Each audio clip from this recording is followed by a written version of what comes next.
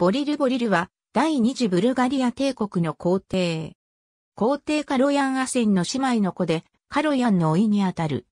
ボリル在中のブルガリアの支配領域1207年にカロヤンがテッサロニキ包囲中に暗殺された後、カロヤン暗殺の計画に加わっていたボリルが帝位についた。ボリルが帝位についた後、カロヤンの二人の息子アレクサンダルとイヴァンは国外に亡命し、クマン人の保護下、ついでガーリチボルイに広告に逃れる。即位したボリルは地位を固めるため、カロヤンの未亡人と結婚した。治世の初期に、ボリルは一族の反乱に直面する。ボリルの兄弟のドブロミルストレスは、セルビアの大ジュパン・ステファン・ネマニッチの支援を受けて、マケドニアのプロセクを拠点として反乱を起こした。1207年にはロドピ山脈南部のメルニクの統治官アレクシー・スラフがラテン帝国と同盟して独立を宣言した。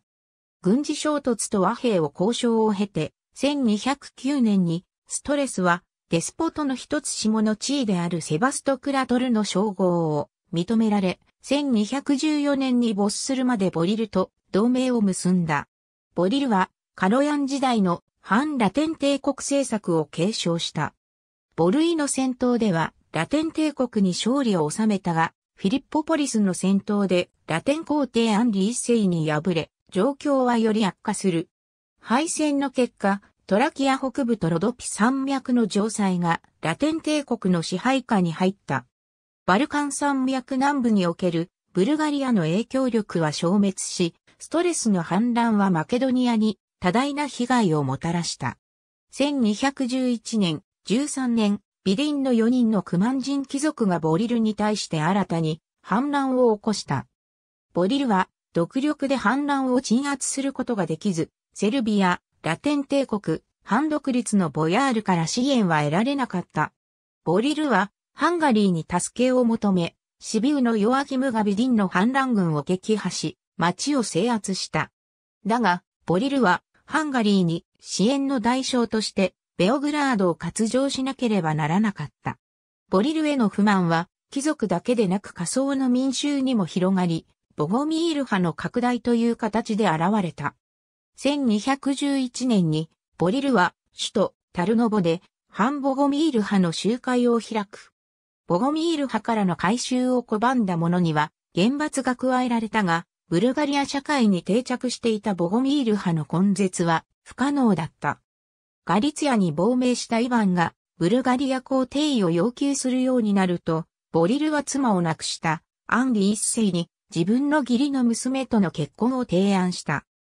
アンリはカロヤンの血族との結婚を渋ったが、ラテン帝国の貴族の説得とローマ教皇、インノケンティウス3世の仲介によって、1213年にブルガリアとラテン帝国の婚姻同盟が成立した。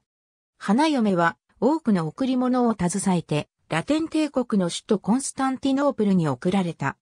ラテン帝国、ハンガリー王国、エピロス先制公国と同盟したボリルは、セルビアとの戦争に引きずり込まれ、1214年にストレスを殺害した後に、戦況はやや好転する。しかし、同1214年にブルガリアラテン連合軍は、セルビアとの戦闘で敗北する。1216年にアンリ一世が没し、1217年にハンガリー王アンドラーシュ二世が第5回十字軍に参加するため中東に赴き、強力な支持者を失ったボリルはブルガリアに取り残された。1217年にロシアの傭兵を率いたイヴァンがガリツヤから帰国し、イヴァンに敗れたボリルはタルノボに籠城する。7ヶ月に及ぶ包囲の末にボリルはタルノボを放棄し、イヴァンがブルガリア皇帝位を勝ち取った。脱出の際に、ボリルは捕獲され、盲目にされて、修道院に幽閉された。ありがとうございます。